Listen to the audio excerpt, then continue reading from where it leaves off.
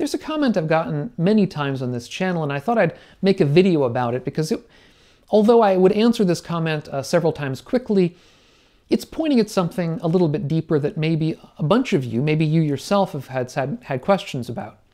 And that is, uh, several people have said that I should be titling my channel Doug's Dhamma, D H A M M A, rather than Doug's Dharma. That the quote unquote real word is Dhamma rather than Dharma. And this opens up a whole, I think, uh, topic for discussion. Because early Buddhism, the, the, the Buddhism that came from the earliest stratum, the earliest texts, occurs in two different languages.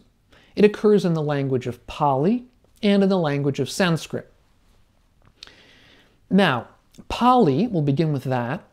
Pali is the, the language in which uh, the broadest number of uh, early texts are written, at least in, as regards the texts that are written in an Indic language, that is, a language that stems from India.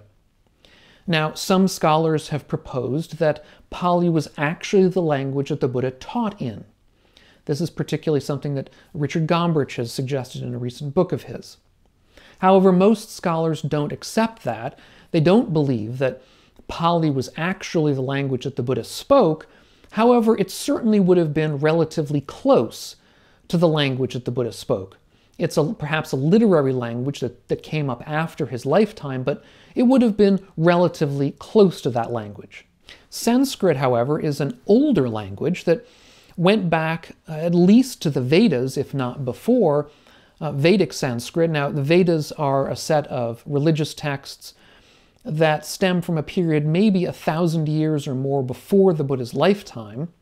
It's also the language of the Upanishads, it's the language of much of what became Hinduism, and indeed Hinduism is uh, the, many of the religious texts of Hinduism are written in Sanskrit. I would say all of them are.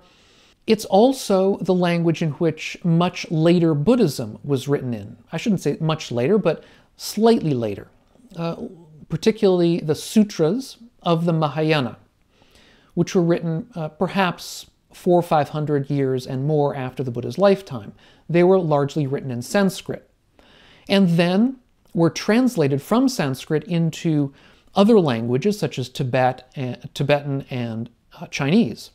Now, it's important to note here that Pali and Sanskrit, these two languages I've been discussing, are actually very closely related.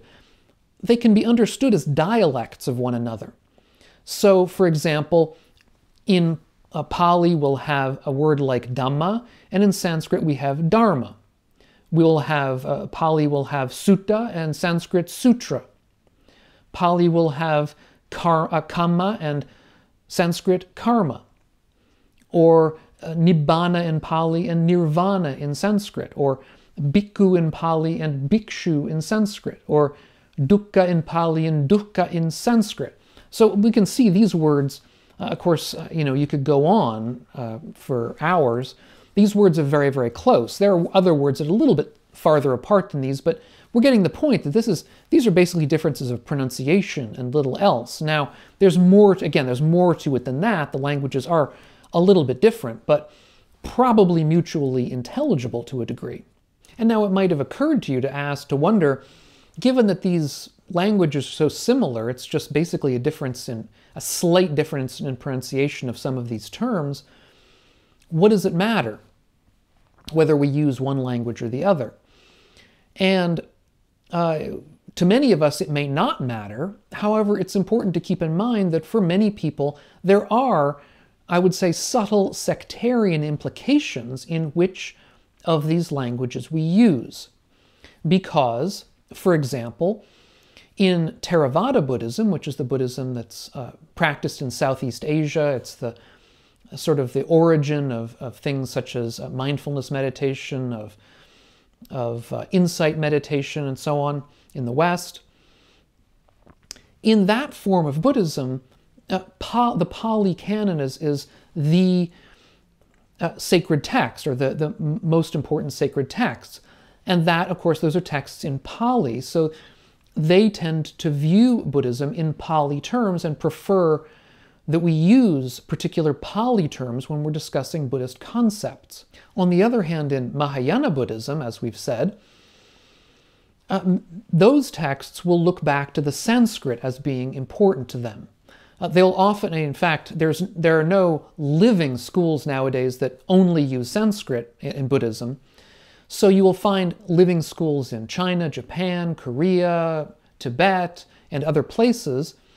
And they will look to, uh, obviously, the texts that they'll be reading most of, mostly will be written in the language of the place that they are, so they'll be written in Tibetan or Chinese. But again, when it comes to understanding the fine points, they'll look to the older language out of which many of these texts were understood to be translated, or if these texts are commentaries, then the, what the commentary is, is, is discussing, they'll look to the Sanskrit term. And so if you're coming at Buddhism from a Mahayana standpoint, you're going to be looking at terms in Sanskrit rather than those in Pali. And there is, to this day, a relatively uneasy relationship between Theravada and Mahayana Buddhism. In the main, it's perfectly good, and there are a lot of very friendly and non problematic uh, encounters between uh, people of these two different religions. Of course, the Mahayana religion is very, very diverse. It includes many different types of Buddhism uh, from many different countries, whereas Theravada is somewhat less diverse. But in any event, because of this kind of uneasy relationship, while on the, in the main it's good, there are times when there can be sectarian issues, and that's where it comes down. That's when this question about which precise term we're using makes a difference. So, to that end, as I say, some people have complained that I should be calling my channel Doug's Dhamma rather than Doug's Dharma.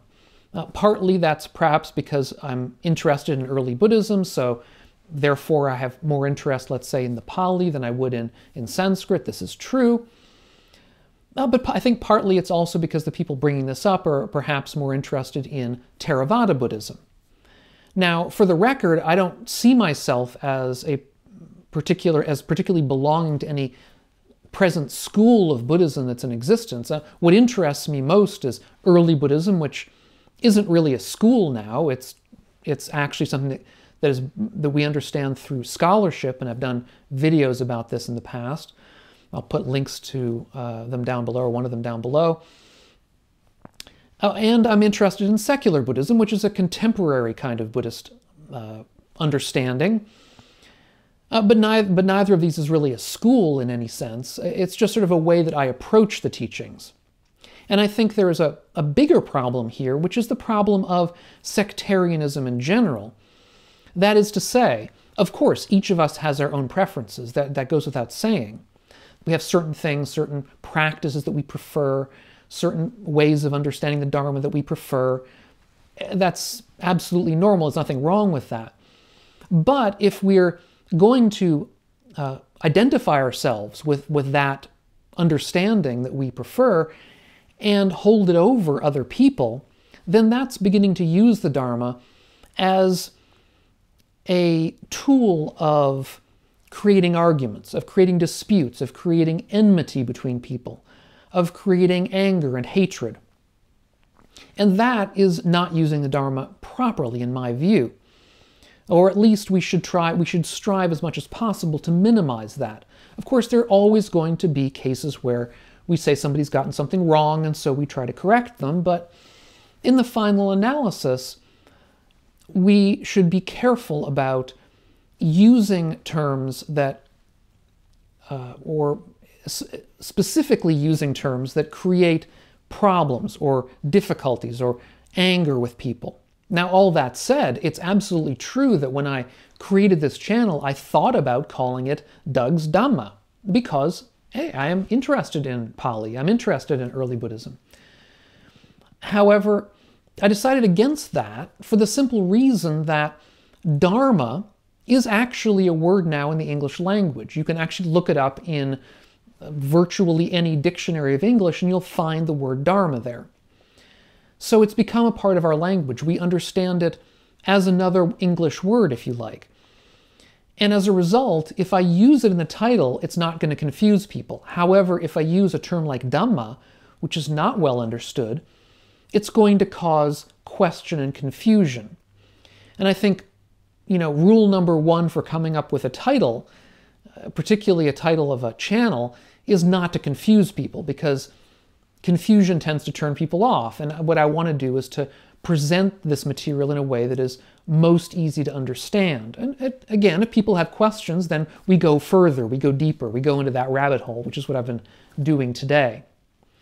So if you're interested more in this rabbit hole of, let's say, what the Pali language is, which most people are not familiar with, I did an earlier video on uh, basically whether we need Pali anymore. And I'll leave a link to that uh, video up here on the screen if you're interested. If you're getting something out of these videos of mine, consider taking a look over at my Patreon page. It's, it's linked down below and see if you want to help uh, support the channel. Thanks so much and we'll catch you on the next video. And meanwhile, all of you, be well.